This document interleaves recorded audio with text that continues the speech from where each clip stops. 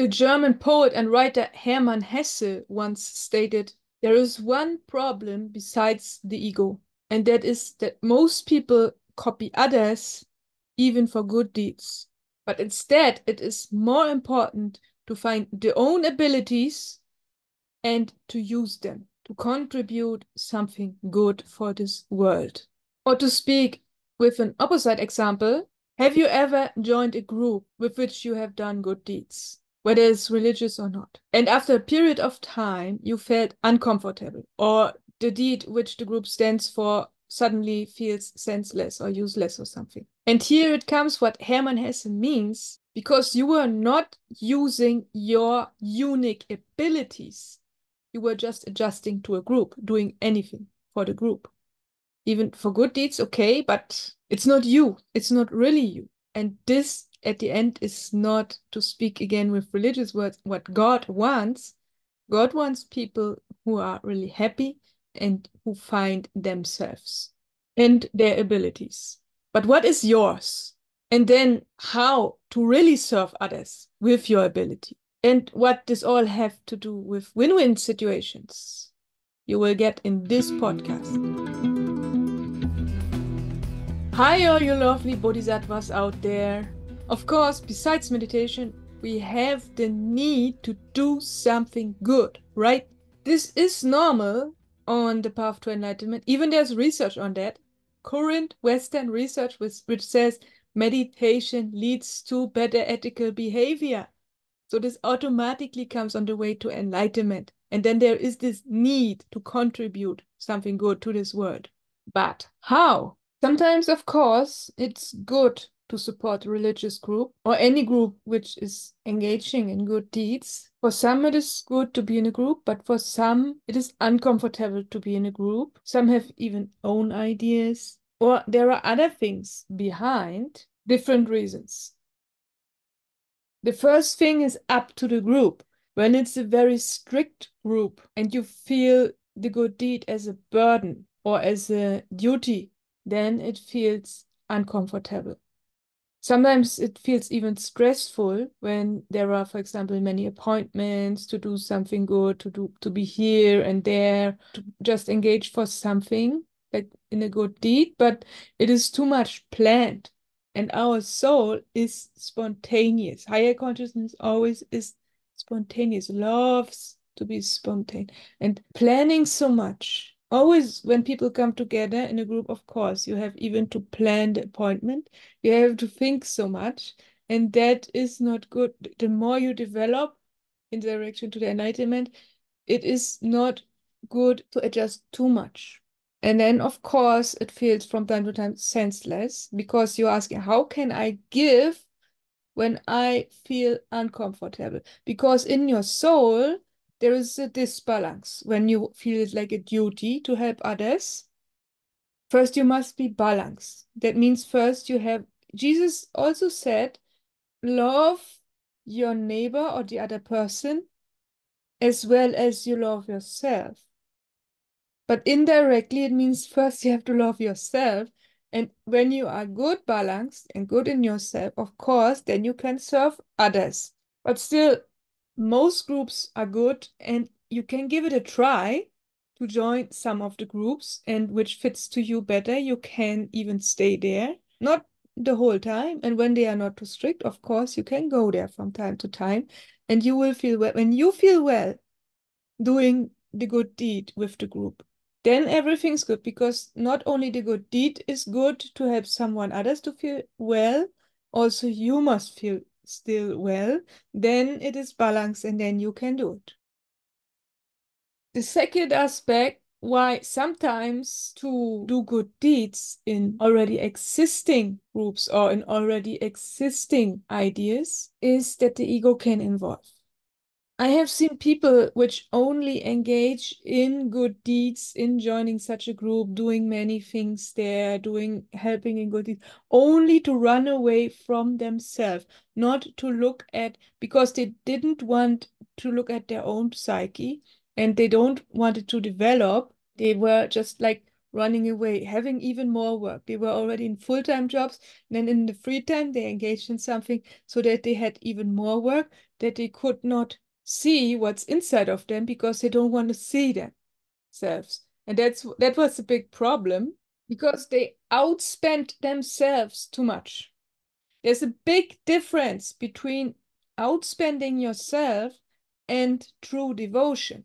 When you do it really from inside, when you are in balance, you want to do this and you really do this and could stay in yourself also because it's really a hard thing that you want and wish to do that. And then you engage, that's absolutely perfect. But in most cases, people forget the devotion aspect, which is actually the divine part here.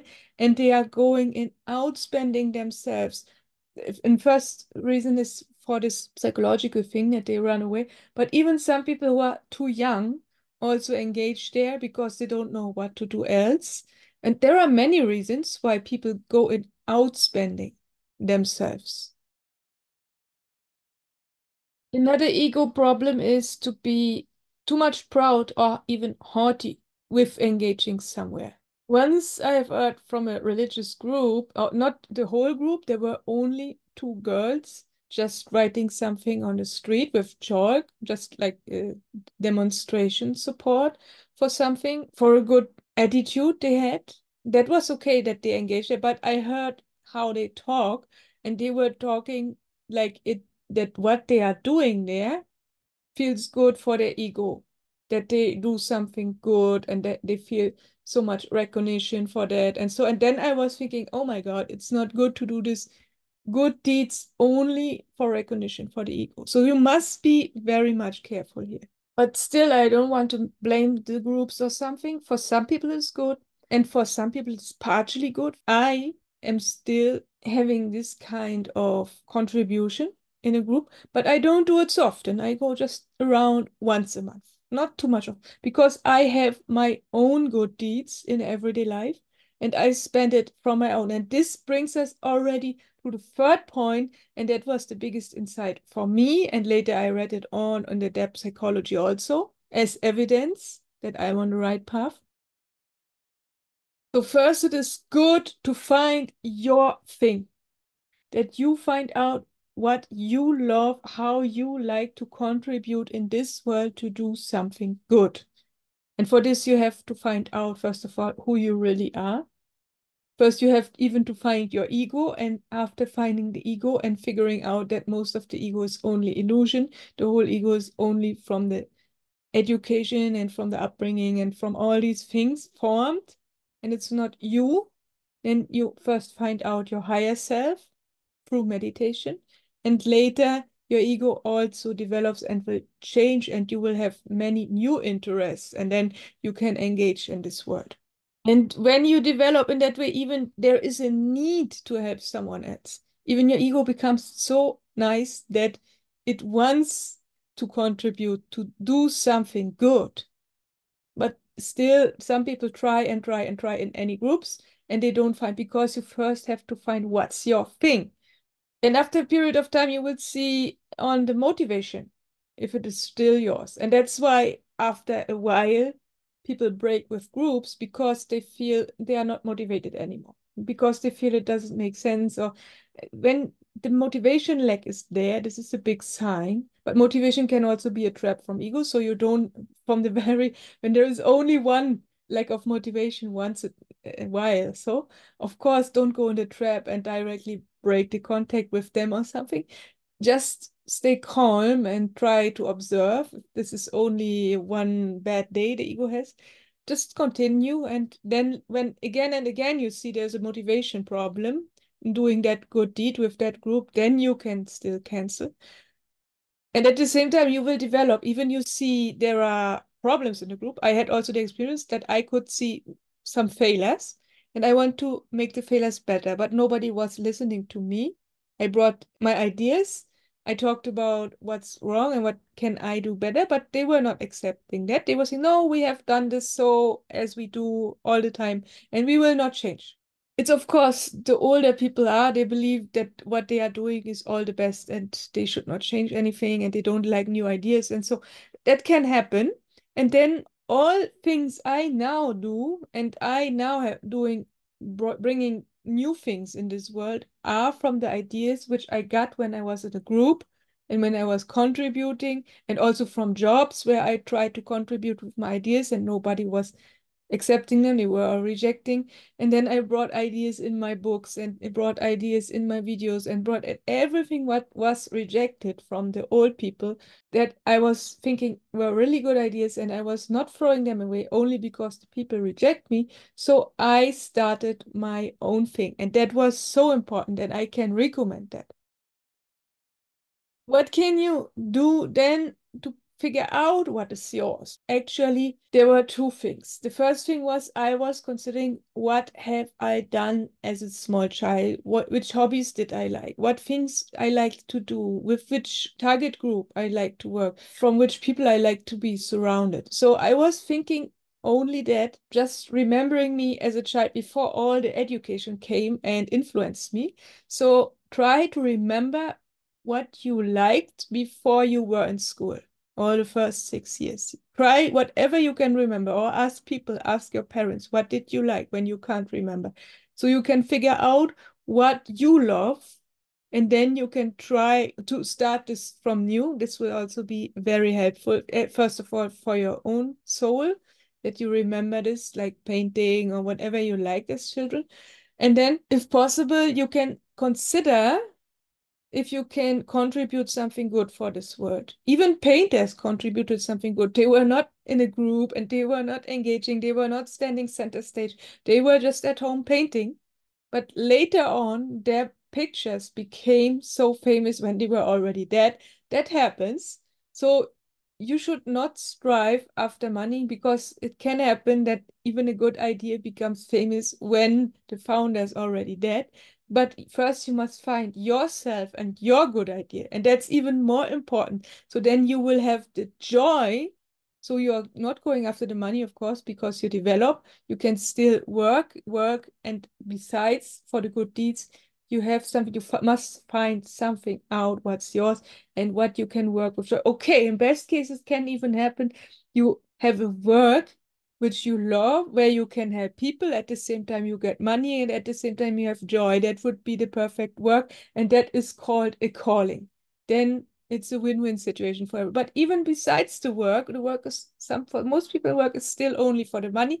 And in the free time, you want to create win-win situation. And that is exactly what it makes so important that you find something which fits to you, which comes out from your heart, which belongs to you as true person, not which others have told you or have educated you to be and to do. So you must find out what, who are you actually, first of all, and then you find out what it is. And for this, it can help to remember childhood and also other things. Later on, I came to that thing that things happened to me and I started to believe in God.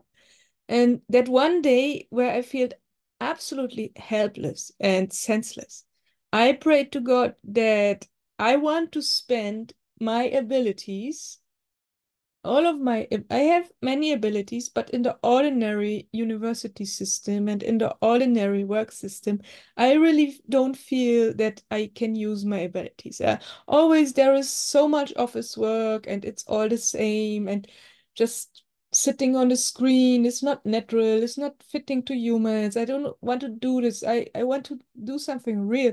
I want to do something that where i really can use my skills and so I was praying, I want to figure out what are my abilities. And from these abilities, I was uh, giving a promise to God that I will use my abilities as best as I can to contribute to something good. And then it took a while. It was not starting the next day or the next week or something. Then I just continued to write my first book actually I started it earlier, but then I gave up and then I had these thoughts, you know, when you start something, these negative thoughts arise that uh similar books already existing and is not good enough and blah blah blah. Then your mind always tells you this is not good and that is not good. But that's a trap, and so you never finish anything good. because always your ego will intervene and you have to stop to listen to that ego. You just ignore it and you just follow what was your motivation to do something new, to do something good. And I then figured out that I was good in playing with words and in creating sentences and these language things. And after finishing my book already, even while writing, I was seeing that sometimes when I was correcting my book, I was even thinking, oh, have I written this sentence or this chapter or something? Because sometimes I felt it was really good and I was thinking, I can't have done it. Of, of course, because the higher self is intervening in the writing flow. And when you then go in correction, you are working with the ego, and the ego doesn't believe even that you are good yourself. That so sometimes, yes, when it compares with others, then it can happen that you think you are better than the other person. But when you are correcting your own stuff, then sometimes it happens that you think, oh, have I written this? Really? Oh, it's not too bad. It depends. It depends also on the mood. It can be that the same sentence next day when the ego mood is bad, he thinks that everything is bad what you have done and written. So it's very different. But again, not listen to the ego, just continue what you love. And when the book was ready, I was starting lessons. I have never thought that I will become a lecturer or something like a teacher or that. I was always rejecting that. But suddenly I had the eager to share the content of my books, even in spoken words. So I started the free lessons on university and I started to join a college to hold ordinary seminars. And now I'm already working on a homepage. I will publish a homepage about the dark night of the soul, in, including a blog or other things. And I don't know, but just I had the idea I will create a homepage so what I here really can recommend, besides thinking of what have you done as child, is you can try the same prayer that you say, God, okay, I want to serve you. I want to serve people, humans, with my abilities. So first I have to figure out what are my abilities, what is so different, what I can, what I know from many others, they are not good in it. I am sometimes you are better in a thing than others but this is not his ego would do that he would think that okay i'm better than the others but you can't go through the whole life thinking you are better. That doesn't make sense. When you are better in something the best thing is to use it for good deeds. And that's actually the only thing we can do when we figure out we have something better than others. That's a very cool thing. And so this is your purpose even you don't know the real purpose. The real purpose we will know after the enlightenment. But since the enlightenment before we ca came to the whole to the maximum point i want to say we also have to do something because we can't sit and meditate whole time. We also must move somewhere and move sometimes and have to do something. And so you, for now you can take your small purpose only a thing which in which you are better than others. And besides you can meditate you can pray and ask god which it is, when you don't know in which thing you are better, then ask God for help that, that you find it out in which ability you have, which only few people or nobody around you has, so that you can do that and find that. And then you use it to engage somewhere. Then you use it for good deeds. And that's your thing. And that will be more motivating that will be a pleasure for you and for others. Then you have this win-win situation. And then, of course, you don't need recognition and all these ego things because you have joy while doing this. And you are in this devotion of which we have talked about. So you don't need to fall to outspend yourself or to feel suppressed from a group or feel suppressed. You just take your ideas, bring them in the world, and do them with devotion. So you at the same time you meditate and at the same time you do something good for others and at the same time for yourself also. And that is the best thing. And of course, still besides, you can join groups and you can contribute a little bit to groups because your lower soul part still will feel comfortable to be in a group from time to time to contribute to do something bigger is only sitting somewhere writing books or you know so still you can be in a group also not too often when you are on the way finding your own new thing to create good deeds, to find your idea to bring it in the world, of course, then your whole motivation is there. And then you spend less time to a group. And that is the perfect balance. Or others, of course, they can give up to join groups. It's different. It depends also on your personality. It's not only that you do this thing and that thing and that I recommend this and that and you follow this. You whatever I say, you think of yourself, what things what fits to you, what is good for you, and the rest you reject. Some things you adjust to, some things will fit, other things you reject. And that's good. Just listen to these videos and work with it. But what you always can do is small contributions without any entanglement. Entanglement is also a problem of the groups. And small contributions is that you are so aware in everyday life. You are already because you are meditator and you are in a good development. And when you are aware enough, then you will see this old woman, which have problem to go on the train.